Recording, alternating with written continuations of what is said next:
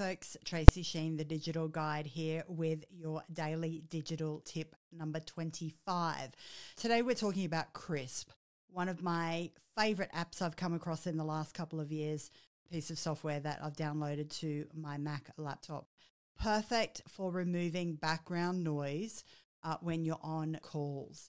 Now, um, as it says here, you can speak without noise. So just by having it downloaded in the background, you can mute the noise around you. So if you've got kids or animals running around in the background while you're trying to do Zoom calls or uh, other kind of, you know, phone calls throughout the day, Krisp will actually significantly reduce that background noise for you. And it will also do it on speakers. So if somebody else is in a noisy environment, it will peel away a lot of that background noise that you'll be getting um, just by talking to them. So I have an account with Krisp. So what I'm going to do is share a code with you in the uh, comments. And if you want to give it a go for free, you'll get one month of the pre uh, the pro service. Now it's not an affiliate. I've already paid for it, so um, just feel free to try out the pro facilities. But they do have a free version available.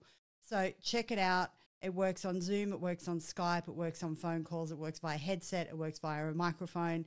Um, it works for streaming. It works for a bunch of different stuff. Really great little app. Check it out. Krisp, K R I S P dot A I.